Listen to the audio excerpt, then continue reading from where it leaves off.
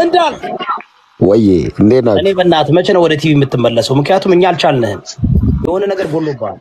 እናንተ ዲያስፖራዎች ጋር ነበረች እኮ ስማ እየተደዋወልን ቲቪዋን ሲያወሩ የዲያስፖራ ፖለቲከኞችን ላረጋጋቢ ነው። እናንተ መቀ- መቀዝቀዝ አለባችሁ። እናንተ እሱ ለእኔ ናቀዝቀዝ ተው፣ ወደ ቲቪ እሱ ለእኔ ተው። እኔ አቀዝቅዣቸዋለሁ።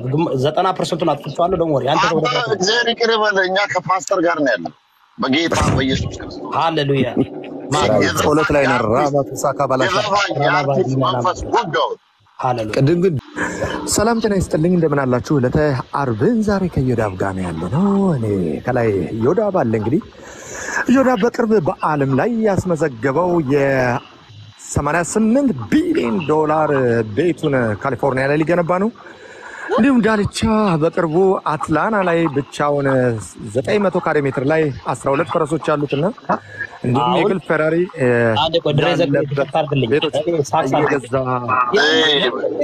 ጋዜጠኛ ይህን ቤት አይመጥንም።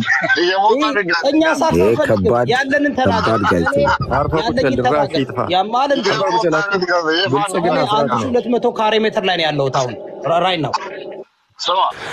ክቡራትና ክቡራን እናመሰግናለን። የተከበራችሁ አድማጮቻችን ከኢትዮ ፌም ጥራት ሰባ ነጥብ ስድስት የማለዳ ስርጭታችን ያረምጣችሁ የምትገኙት በዛሬው መሰናዳችን እንግዲህ በርካታ እናንተን ዘና ፈታ የሚያደርጉ አዲስና ወቅታዊ መረጃዎች የምናደርስበት ፕሮግራማችን ለማቅረብ ስቱዲዮ ተከስተናል። አራት ዘጠና አራት የደወላችሁ ሀሳብ አስተያየቶቻችሁ መለገስ ትችላላችሁ። የዛሬው ክብር እንግዳችን ዮዳብ ይባላል። ባለፉት ረዥም ዓመታት በዲያስፖራ ፖለቲካ ዘርፍ የራሱን አስተዋጽኦ ካበረከትና በተለያዩ ጊዜ አቋሙን ከቀየረ መደበኛ ዲያስፖራዎች መካከል አንዱ ነው ዮዳብ። አንተ ልጅ አላውቅም። አቁም። ይህ ደግሞ ከበቃ እኔ ቀይሬ ግን የነበረው እንዳልክ ነው። እንግዲህ አድማጮቻችን አሁን የነበረው ነገር ወጣቱ ዝነኛና ባለሀብት ንጉስ እዮዳብ ነው። እንግዲህ የውስጥ መስመሩን እንዳልክ ነበረ። እንዳልክ ለመሆኑ እንዴት ነበር ከባለሀብቱ ጋር የነበረን ቆይታ? እ፣ አመሰግናለሁ። ከዚህ ቀደም ለመናገር እንደሞከር ነው በሆነ አጋጣሚ አንተም ታስታውሳለህ ብዬ አስባለሁ። የዚህ የጉብኝት መርሃ ግብር ነበረን። የተለያዩ አሜሪካና አውሮፓ አህጉራት እየዞርን ነበር። በዛ አጋጣሚ ነው በአሜሪካ በነበረን ቆይታ ያገኘው ነው ዮዳብን እዛ ጋር ከአሜሪካ መንግስት ጋር ከሚሰራቸው ዲፕሎማሲያዊ ግንኙነቶች በተለይ ደግሞ የኢትዮጵያን እና የአሜሪካን የኢትዮ አሜሪካ የፖለቲካና የኢኮኖሚ የጋራ ተጠቃሚ ለማረጋገጥ የጋራ ተጠቃሚነትን ለማረጋገጥ ከዚህ ቀደም በተልእኮና ከአሜሪካን በኢትዮጵያ ኤምባሲ ጋር በጋራ ብዙ ስራዎችን የሰራ ሰው ነው እና በዛ አጋጣሚ ነው የተዋወቅ ነው። በ account ላይ ባንኩ ላይ ያለውን ጥሬ ገንዘብ በተመለከተ ብዙ ለማጣራት ሞክረን ነበረ። ምናልባት ከኔ በተሻለ የባንክ statement መረጃው አንተ ጋር ለብዬ አስባለሁ። እስቲ በ cash ያለውና አጠቃላይ በንብረት ደረጃ plus ደግሞ ለዚች ሀገር ምን አድርጓል፣ ወደ ሀገር ገንዘብ ልኮ ያውቃል ወይ ኢንቨስት ያደረገበትን ሁኔታ የምታውቀው ነገር ካለ ለአድማጮቻችን ብታጋራ፣ በዚሁም ደግሞ በ6882 ላይ ኤ ብላችሁ በአጭር የጽሁፍ መልእክት ሀሳብ አስተያየት መላክ ትችላላችሁ። እናመሰግናለን። እንግዲህ እንዳልክ ከውስጥ እንደገለጸው እስካሁን ድረስ የነበረን ዛሬ ዕለት አርብ ምሽት ቆይታችን ይህን ይመስላል። ወጣቱ ባለሀብት እንግዲህ በጥሬው ያለው በ cash ያለው ለጊዜው ከገቢና ወጪ በስተቀር አራት መቶ ሰማንያ ቢሊዮን የአሜሪካን ዶላር cash አለው። እንዲሁም ወደ ስምንት መቶ ዘጠና ቢሊዮን ዶላር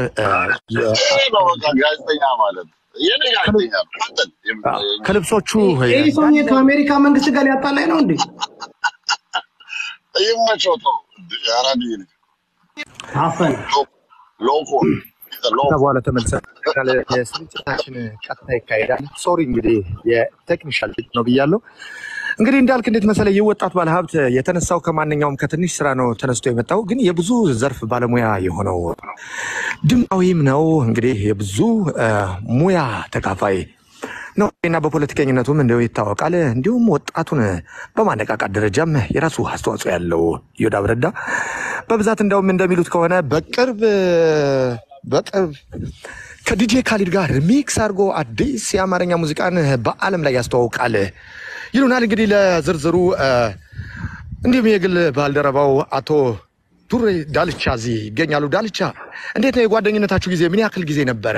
በምን ስተዋውቃችሁ? እንግዲህ አንተም ወጣቱ ባለሀብት ነህ።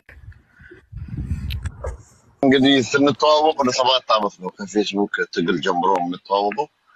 እዮዳብ ረዳ በጣም መልካም ሰውና የዋ ሰው ውሸትን መቀበል የማይችል ውሸት ብትነግረው አቅሮት እንደምንም አንድ ሁለት ቀን አሳድሮ የሚያስታውቅ ዜጋ ነው። ውሸትን ይዞ መንቀሳቀስ የማይችል በጣም ሀቀኛ የሆነ ሰው ቀይን ቀይ ጥቁርን ጥቁር ብሎ የሚፈርጅ ሰው በጣም እዚህ ሚዲያ ላይ እዚህ ያለ የማይባል ሰው ማንም የማይደርስበት አንጋፋ በጣም በፓስተርነትም የእግዚአብሔርንም ቃል በማስተላለፍ በረገጣ እያስመሰለ ራፖችን በማድረግ ስድብ የሌላቸው በጣም ጸዳ ጸዳ ያሉ ነገሮችን ለማስተማር ለማህበረሰቡ ሞክሮ ሞክሮ ግን አልሳካ ሲለው እኔ ጋር መጥቶ አንዳንድ ረገጣዎችን ተምሮ እስካሁን ስራ ላይ አላዋላቸውም።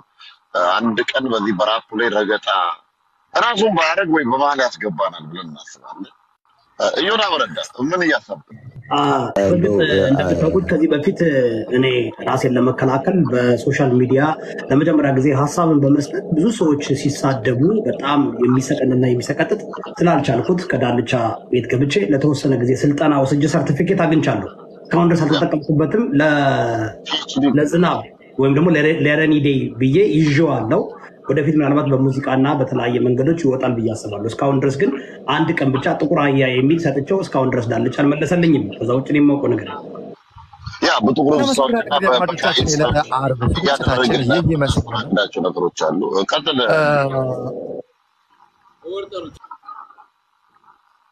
እናመሰግናለን። የተከበራችሁ አድማጮቻችን ያደመጣችሁ የምትገኙት የዘውትር ማን ይቅረብለው ፕሮግራማችን ነው።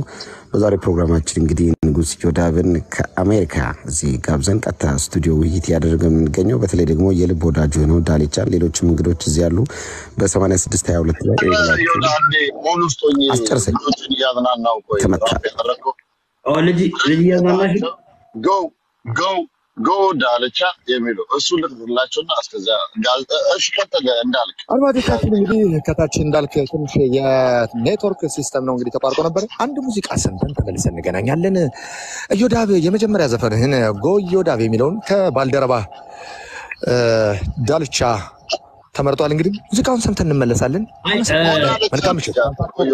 በአሁኑ ሰዓት በአሁኑ ሰዓት እ፣ ሙዚቃዎችን ለተወሰነ ጊዜ እንትን አድርጊያቸዋለሁ። ሰሞኑን በዩቱብ ቻናል ላይ በንጉስ ኢዮዳብ ረዳ show በኃይለኛ በከባድ እስከዛሬ የሰራኋቸው ሙዚቃዎችን በቪዲዮ እለቅላችኋለሁ። እዛ ጋር በደንብ ትከታተላላችሁ እና እዛ ውስጥም ያው እነ ዳልቻም ሌሎች ሌሎችም በቪዲዮ ይገባሉ ብዬ እጠብቃለሁ። በተለይ ዋናው go ኢዮዳብ የሚለው ኢቨንተው የተሰራበት መልእክቱ ለአንድ ግለሰብ ቢሆንም ያ ግለሰብ ራሱ በቪዲዮ እንደሚገባ ቃል ስለገባልኝ ብዙ ሰው የተዝናናበት ብዙ የተነገደበት በጣም ከመቶ ሚሊዮን በላይ view የታየበት ሙዚቃ ስለሆነ በዩቱብ ቻናል ንጉስ እዮዳብ በሚለው ላይ ለቀዋለሁ። ሙዚቆችን ሁሉ በዛ ነው የምለቃቸው። ከአሁን በኋላ በዚህ በምለቅባቸው ጊዜ ሰዎች ኮፒ እያደረጉ እየወሰዱ እየነገዱ ስለሆነ ያው ወደ ራሴ ቻናል ያው እንዳልክም ይህን ታስተዋውቃላችሁ ብዬ አስባለሁ። ንጉስ እዮዳብ ረዳ show ይላል ዩቱብ ቻናላችን ከፍተናል። ሁለት ሺህ ምናምን ደርሷል በአንድ ጊዜ። ብዙ ሰዎች subscribe እያደረጉ ነው። ከሚቀጥለው ሳምንት ጀምሮ የተለያየ ፕሮግራሞችን show ዎችን ይዤ እመጣለሁ። ሙዚቃዎችን እንደገና ደግሞ ኮሜዲዮኖች ካመዲ ይዘን እንመጣለን። ሰዎችን ጥያቄ እንጠይቃለን። ፖለቲካ፣ የተለያዩ ነገሮች ኦርኬስትራ የሆነ እነ እንዳ- እነ እንዳልክን ሁሉ በጋዜጠኝነት በጣም የሚያንቀጠቅጥ show ይዤ እመጣለሁ ብዬ አስባለሁ። ለማንኛውም ንጉስ እዮዳብ የሚለውን subscribe አድርጉ። እስከዛ ድረስ ግን እንትን ይህ go እዮዳብ የሚለው ሙዚቃ የሚለው ከመከፈቱ በፊት ጉቺዎች እና የተለያዩ ጫማዎች እኔ በጣም የምመኛቸው ጫማዎች ስላሉ እነዛን ጫማዎች በቪዲዮ እና መነጽርን አድርገህ ብትመጣልን እዮዳ በጣም ደስ ይለናል። እንዳልኩ ወዳጄ ንጉስ እዮዳብ ረዳ ላለፉት አምስት ዓመት በነፃ ብዙ ነገሮችን ሲያሳይ ነበረ። አሁን ያስገባኋችሁ ያው ቅርብ ወዳጅና የወዳጅ ወዳጅ ስለሆናችሁ ነው እንጂ ጭራሽ እኔ ጋር ለመምጣት አንድ ሺህ ኮይን ማውረድ አለብህ። ከአሁን በኋላ በነፃ የማሳየው ነገር የለም።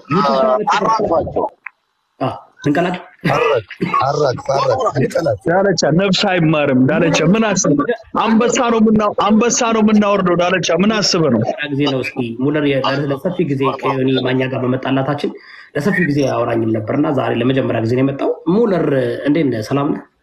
ስመጣ ጎዮዳ የሚለው ሙዚቃ ከመልቀቅ በፊት ጉቺንና እነዛን የምወዳቸውን ጫማዎች ብትፖስትልኝ ወይም ቪዲዮ ብታደርገው ምርጫዬን ፒክ አድርጌ በጨረታ ለመግዛት ዝግጁ ነኝ እልሃለሁ። እዮዳብ እንዴ፣ ሙለር ነው እንደሚያወራው? እኔ እኮ ሌላ ሰው እያወራሁ ነው። ሙለርም ማውሮ ሌላ ማን ነው የሚያወራው? እኔ ነኝ እኮ ማስታወቂያ እየሰራሁልህ ያለው አንተም ጋዜጠኛውን እንደ እኔ ምነው ድምፄን ቀየርኩ ባረን እዮዳብ ድምፄን ቀየር ይሄ አይደለም እንዳልክ እንዳልክና ድሬ ናቸው እንደዚህ የሚያደርጉኝ። ምን ላድርግ ታዲያ? ማስታወቂያ ያደረጉት እኮ ስራው ሁሉ እኔ እኮ ማን ነው የሚያወራው?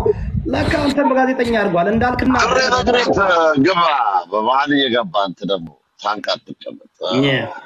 ምንም ችግር የለም። ያው እንግዲህ በመሀል የአስተያየት ጥያቄ አለ። ከዚህ ከፓርቲው እንግዲህ አካሄድ እያስተካከልን አንድ የኢትዮጵያ ችግሩ ምን መሰላችሁ? አንድ ሰው ምግብ ሲጀምር ሁሉም ምግብ መደዳ ይጀምራል። እኛ ጋዜጠኝነት ከጀመርን ቆይተናል እና ቢያንስ ጋዜጣውን አቅራቢ ብትሆን የተሻለ ነው ብዬ አስባለሁ እና አድማጮቻችን እንግዲህ ዕለተ ዓርብን እዚህ አብረን እንገኛለን። እንግዲህ እኔ ደሬ ዘግሬት ነኝ እስካሁን ያለሁትኝ ከታችም ከላይ እንግዲህ ዳልቻ አዲስ ትምህርት ቤት ከፍቷል። ለስምንት መቶ ሰው በአንድ ሳምንት ስልጠና ሰጣለሁ ይላል። የረገጣ ትምህርት ነው። ባችለር ዲግሪ ያላችሁ በተለይ አውቶቡስ ተራ አካባቢ የተወለዳችሁ የአውቶቡስ ተራ ስል የሁሉም አካባቢ ይህ የወያላነት ስራ የሰራችሁ ካላችሁ እንመዘግባለን። ምላሳችሁ ፈጠን ፈጠን ያላችሁ ለመቀበል አእምሯችሁ ሰፊ የሆነ እንቀበላለን፣ እናስተምራለን፣ እናሰራለን ይላል። ሌላው ነው ረዳ እንግዲህ በቅርቡ ጭራሽነቱ የሚሆን የግር ፕራይቬት ጀት ላስገባ ነው። በጋራ ሆነን ታዩታላችሁ። እንግዲህ በወሬ አይደለም በተግባር ነው የማሳየው። እንደው ይህን ህዝብ ልርዳው ብዬ እንጂ ድሮ ምን የ TikTok እኮ አይመጥነኝም። MTV ነበር መቅረብ የነበረብኝ። እንደው ለምን ዝቅ ብዬ ይህን ማህበረሰብ አላበረታታውም በማለት ነው የመጣሁት።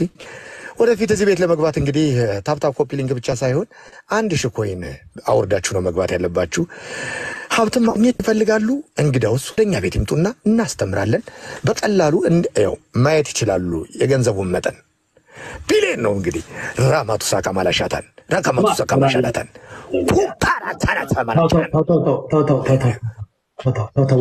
ይሁን ይሁን። ሙለር ግን ምንድነው ታለንት? አሁን ብዙዎቻቸው እዚህ ጋር ጋዜጠኛ የሚያነባው ሙዚቀኛ አለ፣ ተራጋጭ አለ፣ ፖለቲከኛ አለ። ሙሌ የሆነ ታለንት ከስፖርት ከመስራትና ትራክን ሲደብር truck ኡን ብድግ አድርገህ ለተወሰነ መንገድ ይዞ ትሄዳል የሚባለው እውነት ነው?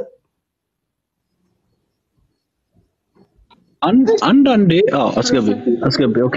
አንዳንዴ ያው ጫካ ላይ ሲመችብኝ እንጨት በማንደድ አንበሳዎች እንዳይጠጉብኝ ይከላከላለሁ።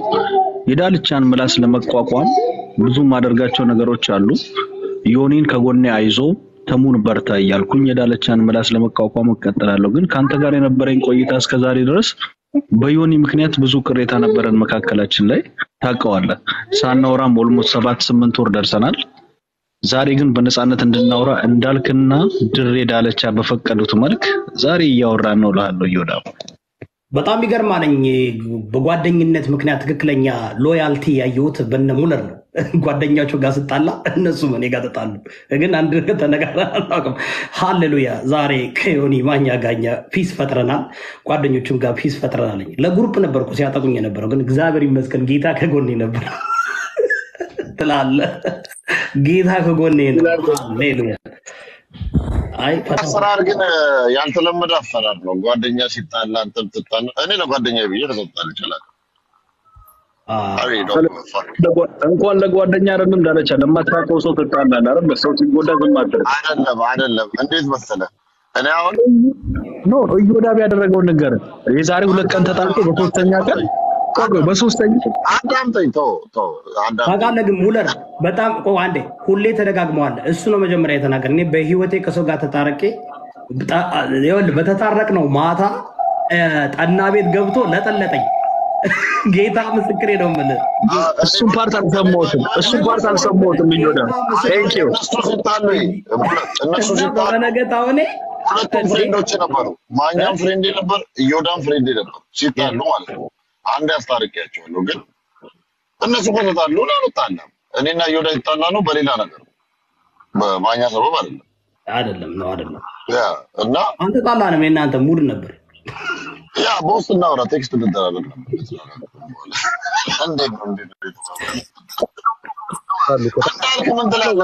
እንዳልክ በጣም ተራጋጮችን ምናምን ይታዘባል። ቆይ እንዳልክ ና ግባ እስኪ።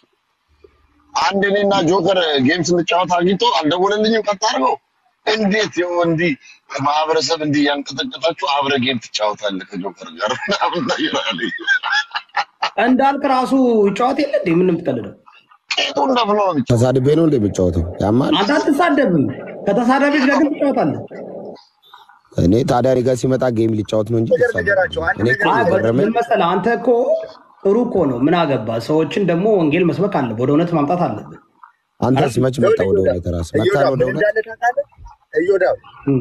አደገኛ ሚኒሶታ ላይ የሚካሄደውን ነገር ልንገርህ። አደገኛ አደገኛ አማራና ኦሮሞ ሰልፍ protest ወጥተው ተነካክሰው ተነካክሰው መጨረሻ ላይ ስጋ ቦታ እናት እኔ ነኝ የሚከፍል እኔ ነኝ እንደሚባባሉ ታውቃለህ። ምግብ ሲበሉ አዎ እግዚአብሔርን ዳልቻ ክለብ ነው የሚሄዱት።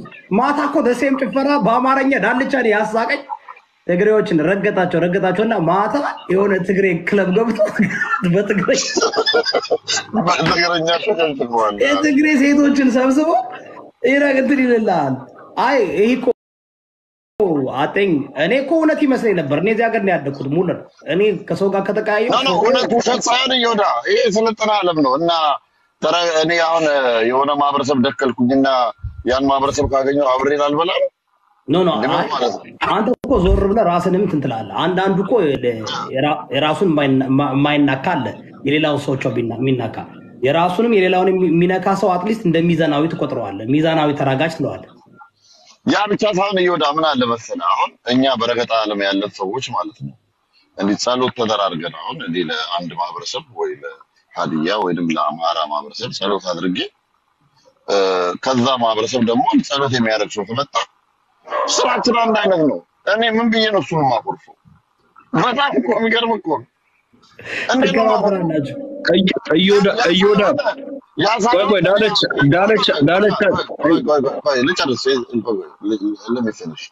እና ያ ሰውዬም የኔ ማህበረሰብ ጸሎት ሲያደርግለት ሲመረቅለት ብሎ እኔም የእሱ ማህበረሰብ ሲመረቅለት ጸሎት ሲያደርግለት ብዬ ስንገናኝ እኔና እሱ ችል የማድረግ ሙሉ መብት አለን። ይሄ ህገ መንግስታዊ መብታችን ነው። ምንም ያገናኝ ነገር የለም። ትክክል አንድ አይነት ስራ ነው። ትክክል። ግራ የሚገባኝ ነገር አለ። ጥያቄ ልጠይቅ አንዴ። እዮዳ ዳለቻ ብልጽግናንም ሲደግፍ እ፣ ኦነግንም ሲደግፍ ብልጽግናንም ሲደግፍ አያለው። ግን የትኛው ነው እኮ የዳለቻ አቋሙ like ብልጽግና ነው ኦነግ ነው? እኔ አሁን ለምሳሌ ግራ ስለገባኝ ነው የምጠይቀህ። በውስጥ በፊት confuse እንትን ነው ብልጽግና ይረግጣል ሆነ ብልጽግና ትረግጣለህ። ኧረ እኔ ብልጽግና አድርጌ አላውቅም። ዳለቻ ነው የምጠይቀው። ዳለቻ ነው ዳለቻ ይመልስል። ብልጽግና አድርጌ አላውቅም። ብልጽግና እኔ እኮ ብልጽግና ነው ይሄ ብልጽግና መርገጥ ሳይሆን ስህተታቸውን እዛ ውስጥ ያሉ ቆርሾ ቆንበሬ ሰዎች ሳይገኝ ይመክራቸዋል እስከ አፍንጫ ብልጽግና ስለሆነ አላልፈው ገብቷል። ግን የአብይን አካሄድ hundred percent ነው የምደግፈው። ለምን መሰለህ ሙለር አንድ አንተ የምወድልህ ነገር አለ። አንተ የሀዲያ ተወላጅ ነህ። በኢትዮጵያዊነት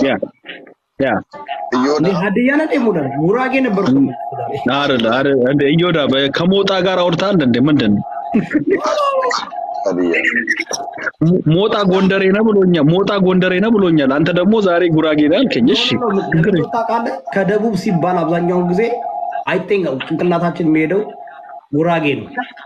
no ወላይታም ይባላል ጉራጌ፣ ወላይታም ይባላል ጉራጌ፣ በሀዲያ ይባላል። ይኸውልህ ወላይታ ምናምን ያሁን ያወቅኳቸው ሀቅ ለመናገር እኮ እኔ እኔ እዮዳ ምንድን ነው የምታወራው? እኔ እኔ እኔ okay okay አንድ አመት ምናምን አይሆነኝም። እዮዳ አማራ፣ ኦሮሞ፣ ትግሬ፣ ጉራጌ ከዛ ውጭ አላውቅም። እነዚህ አራቱን ነበር የማውቃቸው። ለምንድን በዘፈን ነው የምታየው? በጉራጌኛ በምናምን በምናምን እዚህ ሀገር ነው ያደኩት። እኔ ከአበሻ ጋር ተለይቼ ያደኩ ሰው ነኝ።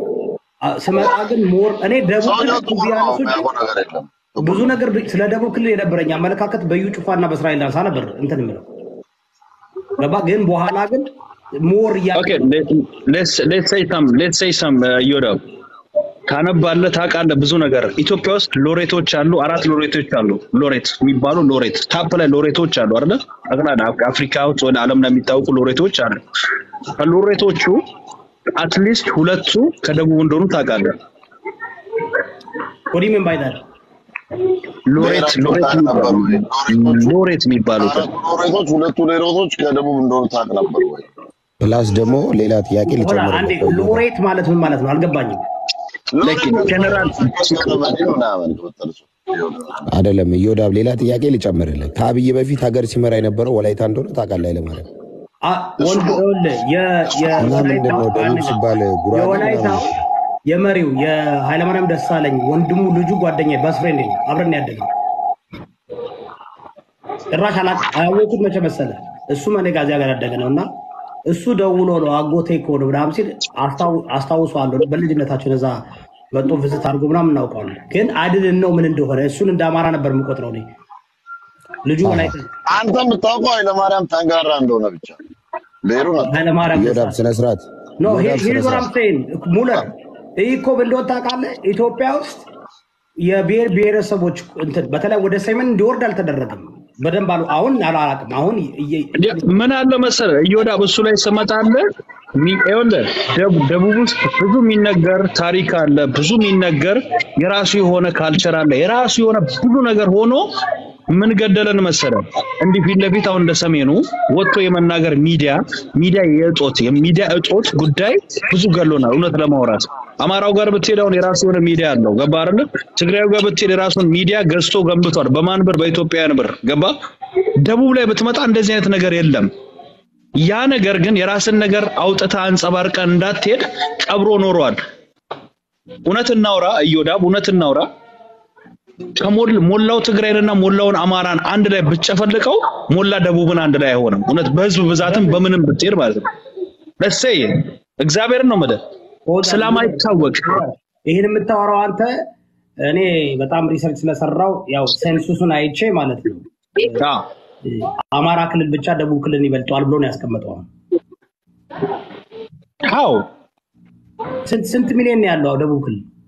እንዴ ምን ማለት ነው? እስኪ ዝም ብለህ እስኪ ሲዳማን ብቻ ቁጥረው። የሲዳማን ህዝብ ብቻ ቁጥር አንድ በህዝብ ቁጥር አንድ የተቀመጠው ኦሮሞ፣ ከዛ አማራ፣ ከዛ እንትን እያለ ይላል። ግን ደቡብ ክልል ራሱ ሙሉ እንዳለ ሀምሳ ስድስቱ ብሄር ስንት ቁጥር ይሆናል? ስንት ይሆናል? እሺ ደቡብ ክልል ስትሄድ እኮ ደቡብ ክልል ኦሮሚያን ይነካዋል አይደለ? ይሄን ታምናለህ? ኦሮሞ በንግድ ምናምን ከሆነ አዎ መንካት ውጠው እና ክልሉ ስንት ሰው ስንት ሰው ነው ያለው? አሁን እኮ የምልህ ወደ የት ነው የምንሄደው? በሬሾ ደረጃ ከሄድ እውነት ነው። አሁን ቆይ የተዛባ ታሪካ የተዛባ ነገር እንዳለ በጣም ያስታውቃል። ኢትዮጵያ ውስጥ አማራ ላይ አሁን ላይ ያለው ወደ የደቡብ ህዝብ ብቻ ወደ አርባ ምናምን ሚሊዮን የሚሆን ህዝብ አለ የደቡብ ስንት ወንበር ነው ያለው? የሚታወቀው የሚታወቀው ልንገርህ ያ ግን ብቻውን ብቻውን ደቡብ ብቻውን ቆሞ ነው። ግን ይኸውልህ ሲሾልክ ስጨምር ከኦሮሚያ የተጨመረ ደቡብ ላይ የተቀላቀለ ህዝብ አለ። ይህን ታምናለህ? ይኸውልህ፣ አይ እሱ ወደ ዲት ጉጂ ላይ ስትሄድ ይኸውልህ ጉጂ ላይ ስትሄድ ከደቡብ ከጌዲዮ ጋር የሚቀላቀል የኦሮሞ ህዝብ አለ። ይሄ ተቆጥሯል። አሁን ይሄ ፌር ነው ብለህ ታምናለህ? ይሄንን ወለጋ ላይ ስትሄድ በዛ በኩል ይኸውልህ ወለጋ ላይ ስትሄድ በግንጪ በኩል በግንጪ በኩል ሙሉ ደቡብ አለ። ያልተቆጠረ ህዝብ ነው ያ። ይሄ fair ያልሆነ ነገር ስላለው ነው እኔ ኢህአዲግ ያስቀመጠው ወይም ደግሞ አሁን በብልጽግና ያለው ደቡብ population ኑ ምንድን ነው?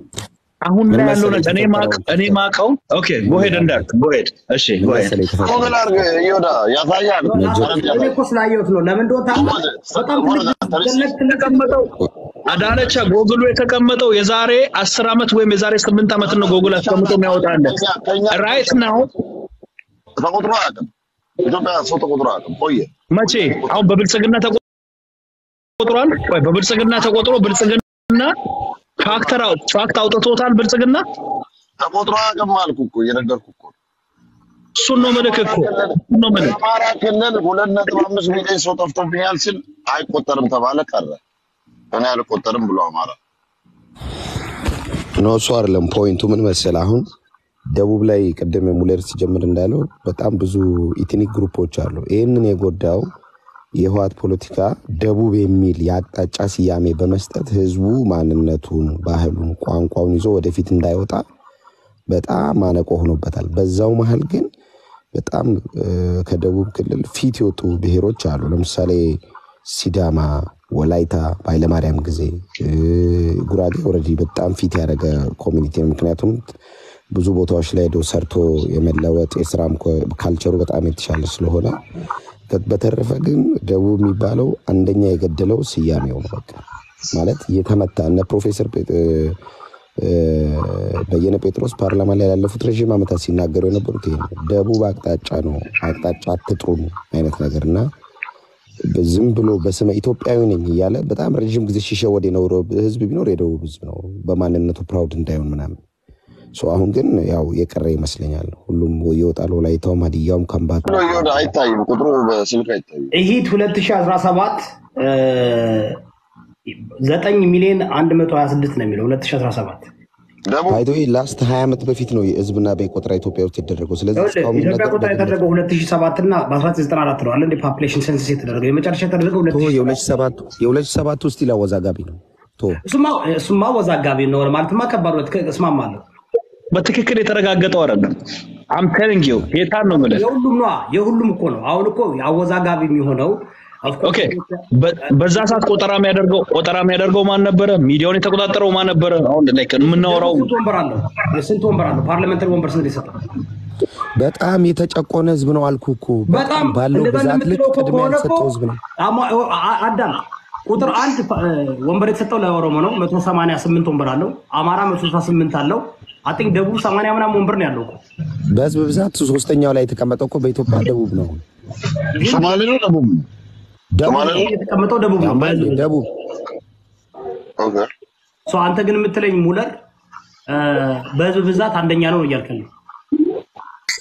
like ደቡብ በህዝብ ብዛት ቢቆጠር እኮ አንተ ደቡብ እኮ ስንት ሃምሳ ስምንት እኮ ነው አሁን አሁንም ቢሆን አሁንም ቢሆን ዮዳ እኔ ዛሬ እችን ነገር የምናወራትን ነገር maybe የሚሰሙ ሰዎች ብዙ ሰዎች ይኖራሉ።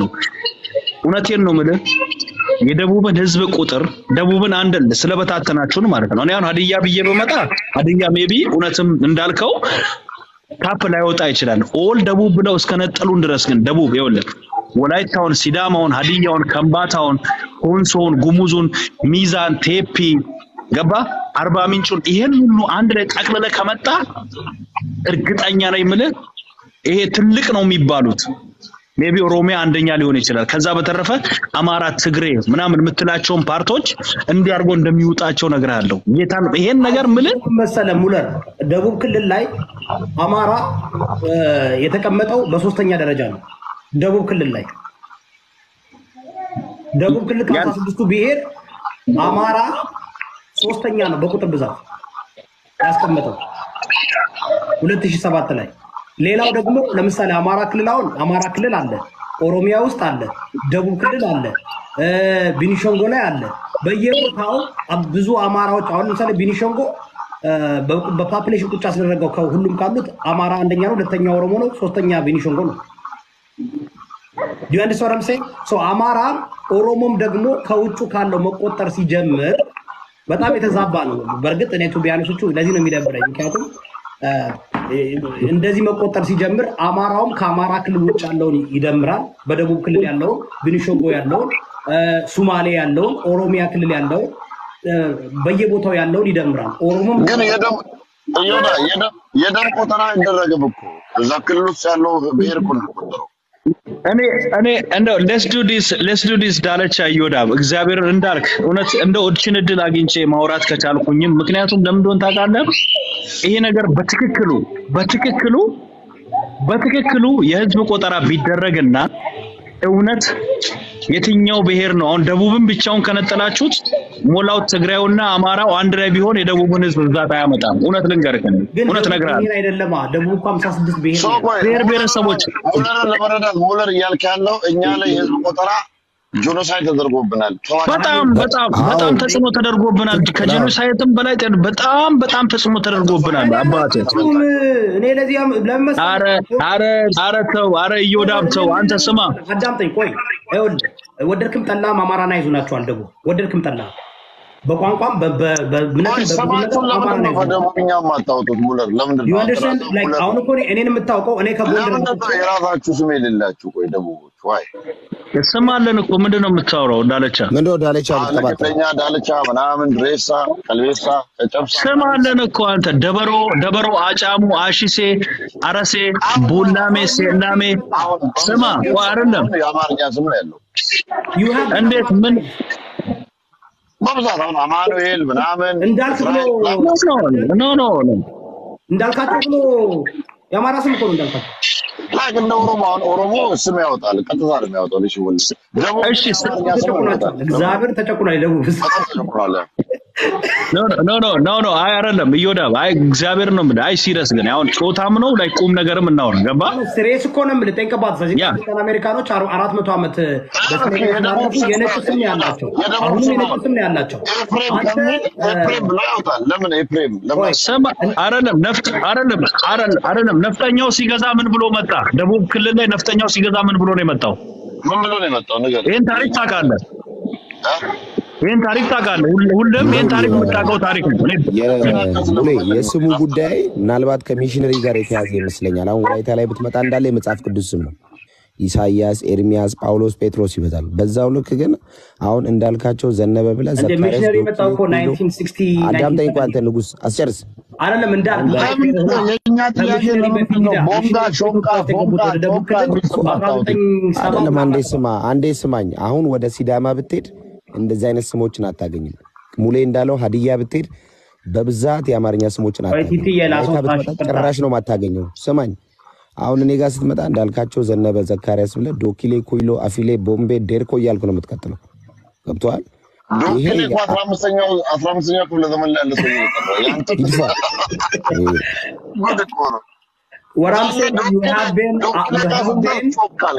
ላይ been ይኸውልህ ወደድክም ጠላም ደቡብ ክልል የአማራ በአማራናይዝ እና ኦርቶዶክሳይዝ ሆነሃል።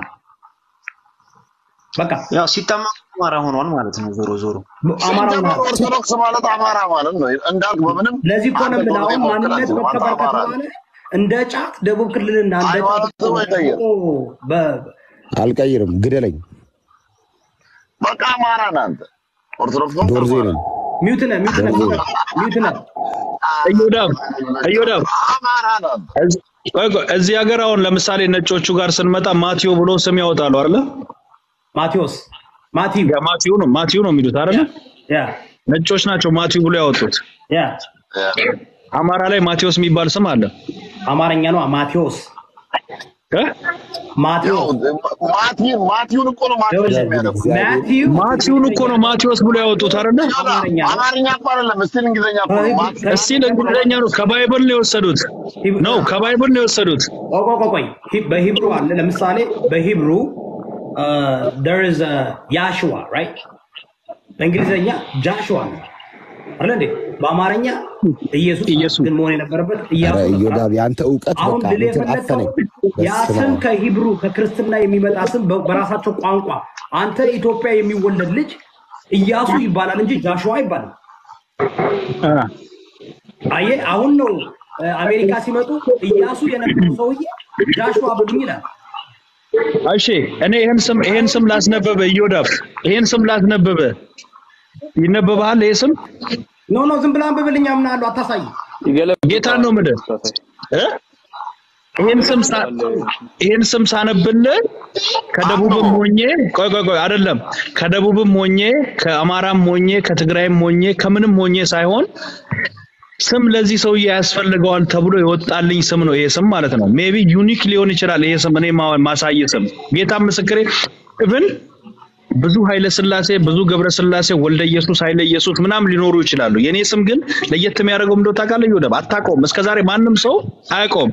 ሙለር ብዬም ስመጣ ቲክቶክ ላይ ቆይ ዳለች አንዴ ዳለች አንዴ ዳለች አንዴ የኔ ስማ ሙሉ ኢየሱስ ነው። unique የሆነ ስም ነው። ሙሉ ኢየሱስ አዜ ሙሉ ኢየሱስ ነው። አዜ ክርስቲያን ሙሉ ቀን የሚባሉ ስሞች አሉ። ገባ ወልደ ኢየሱስ፣ ገብረ ኢየሱስ፣ ኃይለ ኢየሱስ። እኔ ሀዲያ ስለሆንኩ ወይም ይሄን ስም ተኮርጆ ከትግራይ ተኮርጆ ወይም ከአማራ ተኮርጆ አይደለም። ሀዲያ ሆኜ ሙሉ ኢየሱስ ተብሎ ስም ወጣልኝ። ስም ሲወጣልክ እንዳልክዬ ትክክል ነህ። አንዴ አንዴ አንዴ እኔ ልጨርስ። እዚህ ቤት የአማራ ቁጥር እየበዛ ነው። ቀንሳቸው ሙሉ ኢየሱስ ምናምን እንዳልካቸው እንትን እሰጠዋለሁ። ይህም ሙሉ ኢየሱስ የተባለበትን ምክንያት ደቡብ ክልል በ- ያው የጴንጤ ቆስጤ የበዛበት ፕሮቴስታንት በሚሽነሪ ስለመጣ ስሙም እምነቱም አብሮ በሚሽነሪ ነው የመጣው። ስለዚህ ምንም ችግር ነው። አውቆ ሆልዳ ቤተሰቦች ፕሮቴስታንት ናቸው አይደሉ? ጴንጤ ናቸው አይደል? ናቸው። በጣም ድብን ያሉ ጴንጤ ናቸው። አሁን ስለሆኑ ስምህን አንተ ሙሉ ኢየሱስ ብለው የሰጡ ባደወይ ሙሉ ኢየሱስ አንደኛ አማርኛ ነው። ሙሉ ኢየሱስ ነው። እንደሌላው ጴጥሮስ፣ ፒተር ምናምን እያሉ አልሰጡም። ያንተ ሙሉ ኢየሱስ ማለት ጎዶሎ ኢየሱስ የለም። ገባ ግማሽ ኢየሱስ የለም። ስለዚህ ሙሉ ኢየሱስ ያሉበት የራሳቸው meaning አለ። ይህ የወጣው ወላጆች ክርስቲያን ስለሆኑ ፕሮቴስታንት ስለሆኑ በመንፈ- አሁን የኔ ልጆች አሉ። የኔ ልጆች ስማቸው ብታይ በጣም እንትን ነው፣ አረፍተ ነገር ነው ከክርስትና ጋር የተያያዘ ምናምን መናገር ስለማልፈልግ ነው ልጆቼ እንዳለ። ያ ግን ከብሔሬ ከማኔ ከማ የተያዘ ሳይሆን ከእምነቴ ያመነጨ ነው። ያ የሆንኩ አንተ ፕሮቴስታንት ስለሆንክ ነው። እኔ የምልህ ግን ፕሮቴስታንት ያልሆኑት ለምሳሌ አሁን እንዳልክ ኦርቶዶክስ ነው። እሱ ደግሞ ከኦርቶዶክስ ነው የሚያገኘው። ቤተሰቦቹ ከእምነት የመጣ ማን አመጣላቸው? ማን ወደ ደቡብ ገብቶ ለወጣቸው? አንዳንድ ጊዜ እኮ occupation በውስጥም ብቻ ሳይሆን በሃይማኖትም እኮ occupy ትሆናለህ፣ ትለውጣለህ።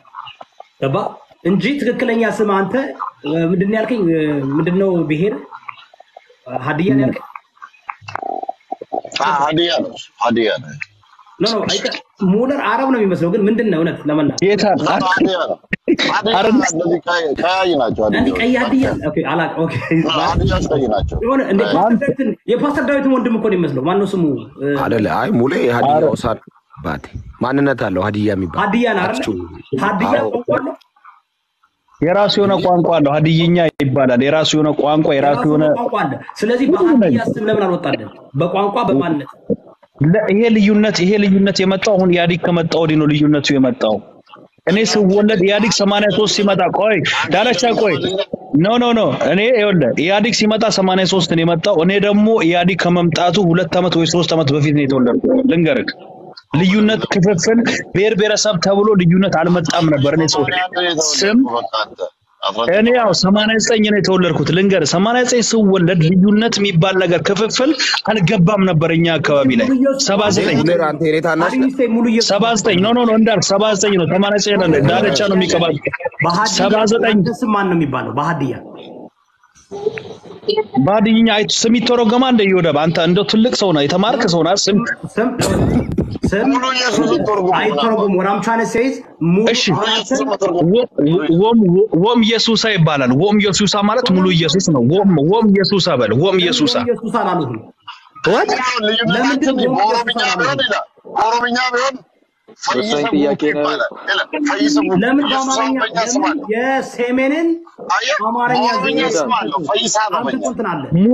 no no no አይደለም። ሙሉ የሚለው ቃል ከየት ነው የመጣው? ሙሉ የሚለው ቃል ከየት ነው የመጣው? ይወዳው ሙሉ ስነ ፍቹ እንግዲህ አማርኛ ነው። ከአማራ ቃል የመጣ ነው። እንዴ አማ- አማርኛው እኮ ፊደሉ ነው እንጂ አማርኛ የሆነው እኮ ለምንድን ነው አንድ የምታደርገው አምጥተህ?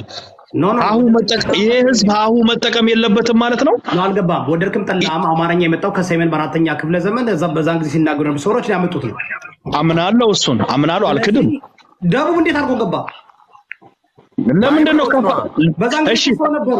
በዛን ጊዜ እኮ እዛ ደቡብ አካባቢ እኮ ራሱን የቻለ ማህበረሰብ ኢህአዲግ ከመጣ በኋላ ነው በራሱ ቋንቋ ላቲን እንኳን ሲጀመር እኛ ጋር አባጫዳ ሲጀመር ኢህአዲግ ከመጣ ወዲህ በራሱ ቋንቋ ተብሎ መሬት ላራሹ ተብሎ ሲመጣ ትዝ ይላል አይደል? ከፋፍሎ የመጣው ኢህአዲግ ከመጣ በኋላ ነው። ይህንን ነገር እንዴት አድርገህ ነው አንድ ጥያቄ አንድ ኢየሱስ ስም የለውም በእናንተ በሀዲይኛ በኦሮምኛው ኢየሱሳ ነው ኢየሱሳ ኢየሱስ ነው። ኢየሱስ ለጋና ኢየሱሳ አስታውሳለችን መዝሙር። ዳሴት ኢየሱሳ ነው። በቃ ዳሴት ኢየሱሳ ነው። ምንም ምንም ልዩነት የለውም። አይባልም በእኛ ፈይሳ ነው? ፈይሳ እኮ በአፋን ኦሮሞ መድኃኒዓለም ነው ፈይሳ ማለት አድን ነው እኮ። አዳ ነው አድነው እንደማለት ነው። አድነው እንደማለት ነው። ይኸውልህ ዳለቻ አንተ ትልቁ የተሳሳትከው ነገር በሃይማኖት ላይ ነጭ ስለሆንክ የምታውቀው ታሪክ የለም። ኢየሱስ የማይተረጎም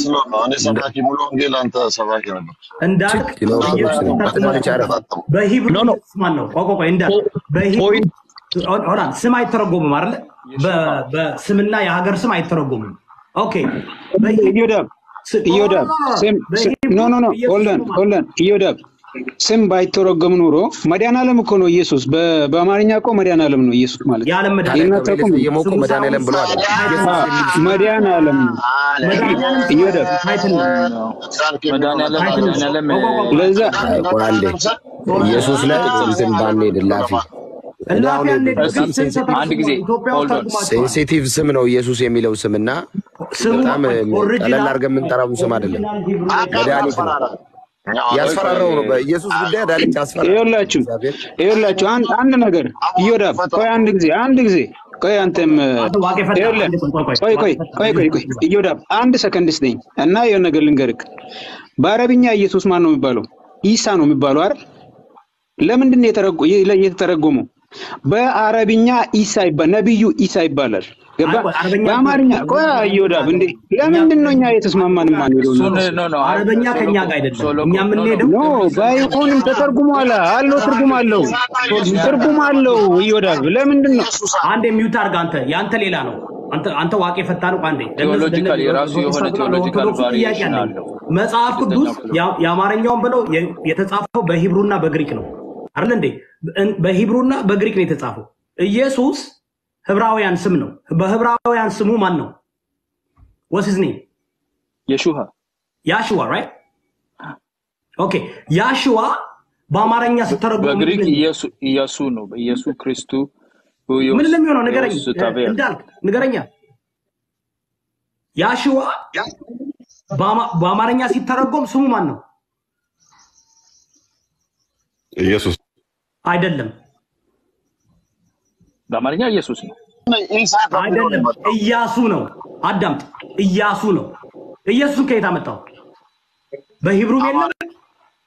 በሂብሩ ህብራዊስቶች አሁንም ሲጠሩት ቆይ ያሽዋ ሀመሻያ ነው አለ ያ- ስም አይተረጎምም ግን ከተረጎምከው ትራንስሊትሬት አታደረገውም translate አይደረግም። transliterate ነው የሚደረገው ስም። አዳምጠኝ። translate ሳይሆን transliterate ነው የሚደረገው።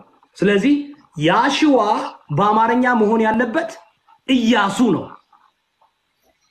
ከየት አመጣው ኢየሱስ ነው?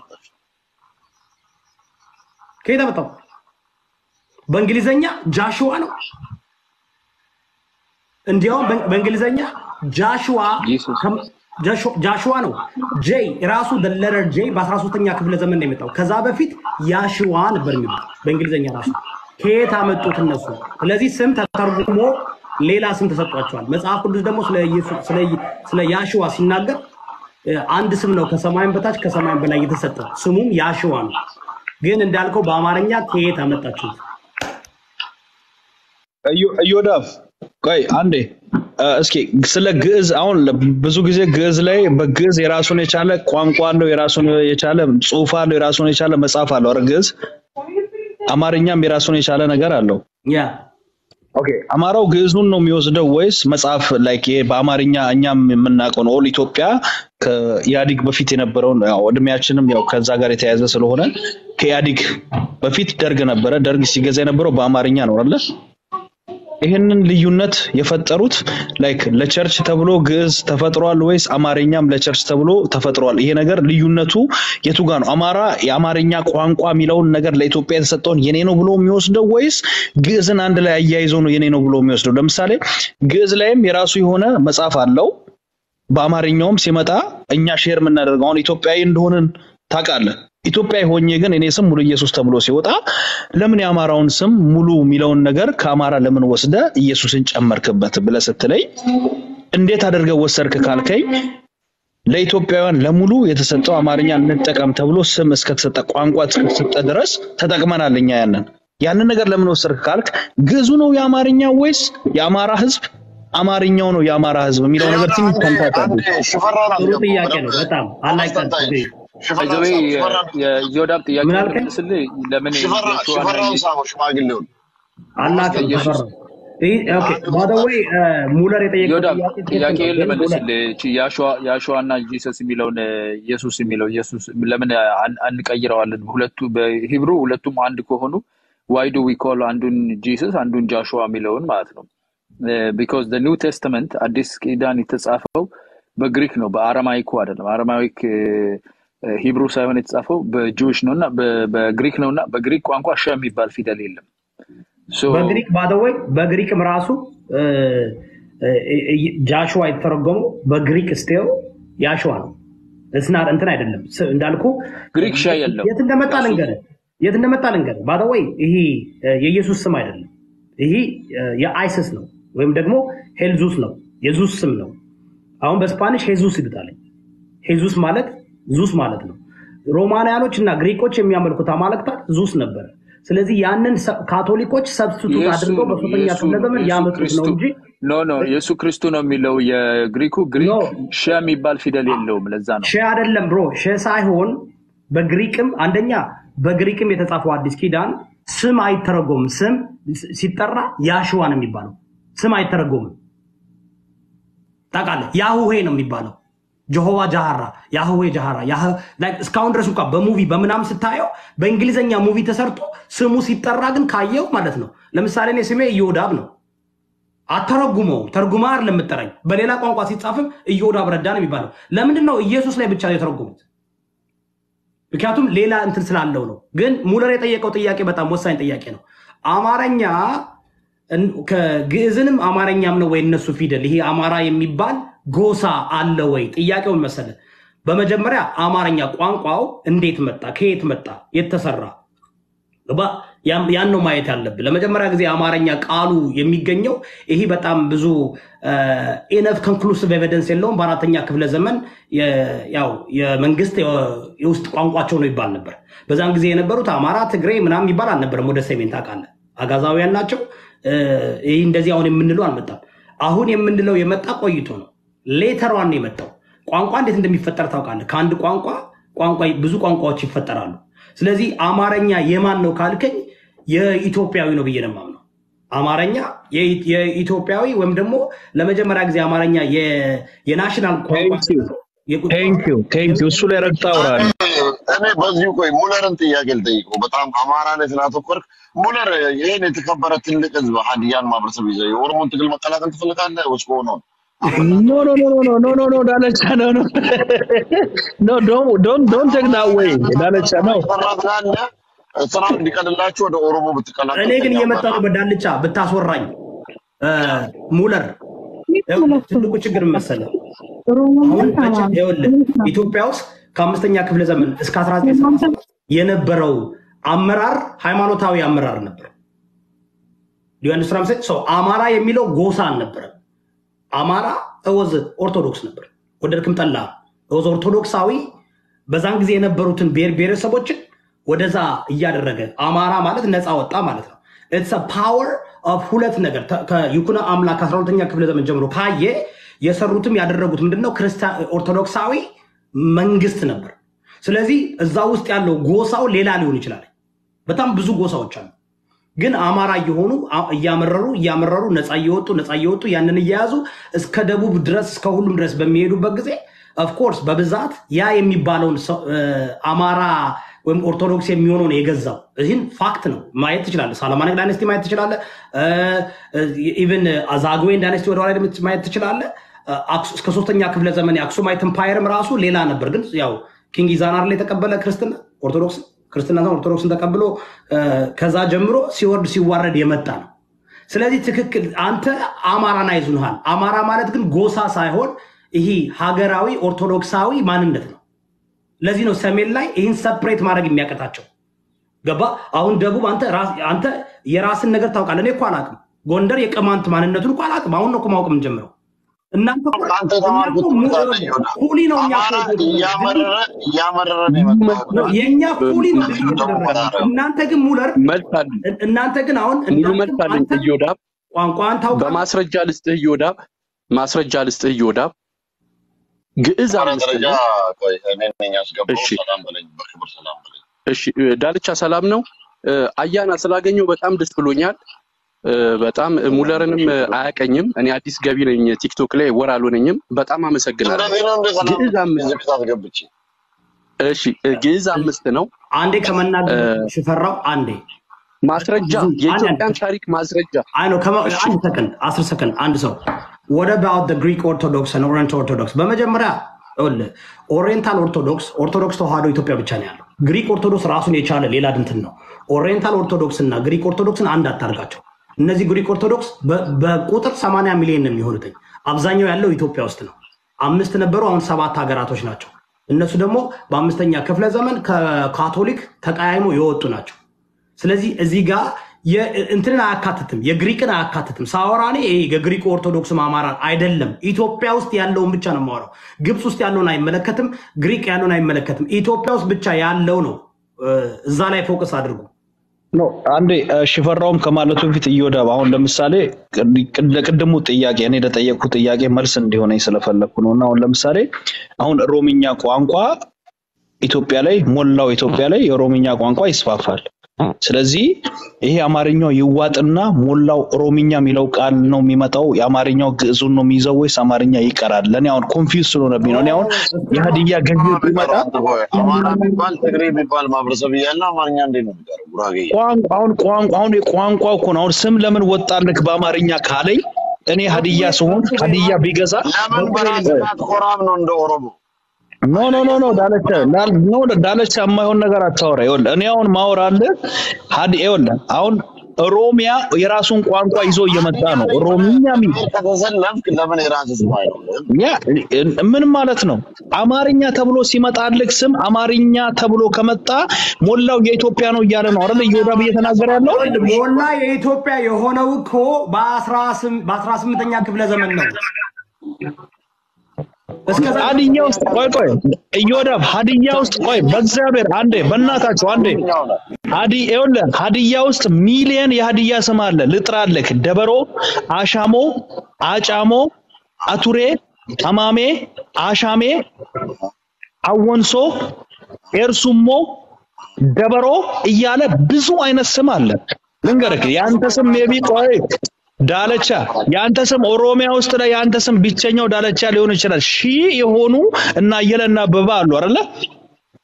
አላቸው ስም አላቸው። እነሱም ቢሆኑ ሶ- ሶ ታዲያ እነዚህ ሰዎች ፈልገው ነው ወይ ስም ስሙ ስም ነው አይደለማ በብዛት አንዴ ሙለር አንተ የጠየቀው ጥያቄ ኦሮምኛ የኢትዮጵያ ቋንቋ ከሆነ አንዴ ሆልዳ የኢትዮጵያ ቋንቋ ከሆነ የሚጠቀመው ግዕዝን ነው ወይስ ሌላ የራሱን ፊደል ይጠቀማል እያልክ ነው? of course የራሳቸውን ግዕዝንማ ያለመጠቀም ስለፈለጉ በቁቤ እንግሊዝኛ ላትን እየተጠቀሙ ነው። ስለዚህ ኦሮመኛ ለምን ስትላቸው አንዳንድ ቃላቶች በአማርኛ ፊደል መጻፍ እንዲያውም ከእንዳልክ ነበር ባለፈው ይህን ነገር ሲያደርግ የነበረው መ- ሌሎችም ሲናገር ሰምቻለሁ። አንዳንድ እኔ ኦሮመኛ ስለማልችል ኦሮመኛ ተናጋሪዎች በአማርኛ ፊደል ወይም በግዕዝ ፊደል አማርኛ ፊደል አለ የሚባለው በግዕዝ ፊደል ማለት ነው። በግዕዙ ፊደል ኦሮመኛን ሙሉ በሙሉ መጻፍ አትችልም። ስለዚህ የሚቀለው Latin ነው አሉ። by the way ብዙ ሰው Latin ይጠቀማል፣ በጣም ብዙ እንትኖች ስለዚህ Latin ን ተጠቅመው ወደፊት ማለት ነው። እውነት ከሆነ ነው ሞለር አላቅም። ይሄን የምነግራውን የተነገረኝ ኦሮመኛ ብችል okay፣ እስኪ ልጻፈው ብዬ በአማርኛ ፊደል ልጻፈው ስል የሚጻፍ ከሆነ ሁሉ ነገር የጥላቻ ነገር ነው ወይም ደግሞ የፖለቲካ ነው ልትል ትችላለህ። እንደሰማሁት ከሆነ ግን ብዙ ኦሮሞ ፕሮፌሰሮችም አንዳንድ ሲናገሩ የኦሮመኛ ቋንቋ ይህ ለዳልቻና ለሶል ተወዋለሁ። የኦሮመኛ ቋንቋ በአማርኛ ፊደል ወይም በእንትን ፊደል ሙሉ ለሙሉ መጻፍ አይቻልም። ስለዚህ እነሱ አሁን አልሬዲ ወርድ አጣጣሉ ወርድ አጣጣሉ ዱቢሆማ በቺፍቱ የሚል ነገር ነው። አማርኛ ውስጥ እንዳለቻ ወርድ አጣጣሉ ብቻ አይደለም። በኦሮምኛ ጭራሽ የማይጻፉ አማርኛ ውስጥ የሌሉ ለምሳሌ ፄ የለም በኦሮምኛ ዤ አሁን መጓጓዣ መጓጓዣ የሚባለውን በኦሮምኛ የለም። እኛ የራሳችንን ፈጥረን ካልጻፍን በስተቀር አንተ እየገለበጥከው ነው። ለሴ ኦሮመኛ የኢትዮጵያ ቋንቋ ሆነ ተባለ። ስትመጡ የምትጠቀሙት ፊደል ምንድን ነው? የራ- የራሳችንን የግዕዝን ነው የምትጠቀሙት ወይስ ነው ላትን የራሳችንን ነው የምንጠቀሙ። ለምን እንደሆን ታውቃለህ? አማርኛ ቋንቋችንን ስለማያሟላ ነው፣ ለሌላ አይደለም።. አማርኛ በኦሮምኛ ሲደረግ አያሟላልንም፣ እንደፈለገን ልንጽፍበት አንችልም። አያሟላም። ኦሮምኛ ኦሮምኛ በጣም ሰፊ ነው ቋንቋ፣ እንደ French ነው። አሁን French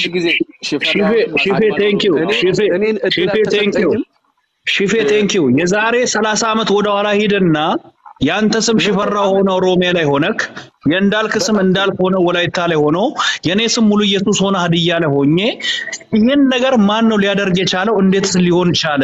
ዛሬ ላይ ግን እዚህ ጋር ቁጭ ብለን ስናወራ ልዩነቱን የፈጠረው ምንድን ነው? እዚህ point ላይ ብናወራ at least ትንሽ ልንረዳዳ እንችላለን። please ሽፈራው አመሰግናለሁ። እድሉ ይሰጠኝ፣ ኦሮሞ እድሉ ያ ይሰጠኝ ብቻ አይደለም። ቆይ ሽፌ ከመናገሩ በፊት ተነባቢና አናባቢ የሚባሉ ነገሮች አሉ አይደለ? እዮዳብ እነሱም በአማርኛ የሉም። እኛውን ለምሳሌ የሚራዘምና የሚያጥሩ ነገሮች አሉ። እነሱ በእኛ በቁቤ በደንብ ነው የሚያሟሉልን። በአማርኛ ግን እሱን በትክክለኛው ሞልቶ የሚያብራራልን የምንፈልገውን ነገር እንድናብራራበት የሚያደርግ የለም በአማርኛ ውስጥ። Latin ግን ያንን ነገር completely full ነው የሚያደርገው። ዶክተር አይሌፍዳ ለአማርኛውም በደንብ ሰርቶበታል ማለት ነው። ለዛ ነው እኛ ላትን በነገራችን ላይ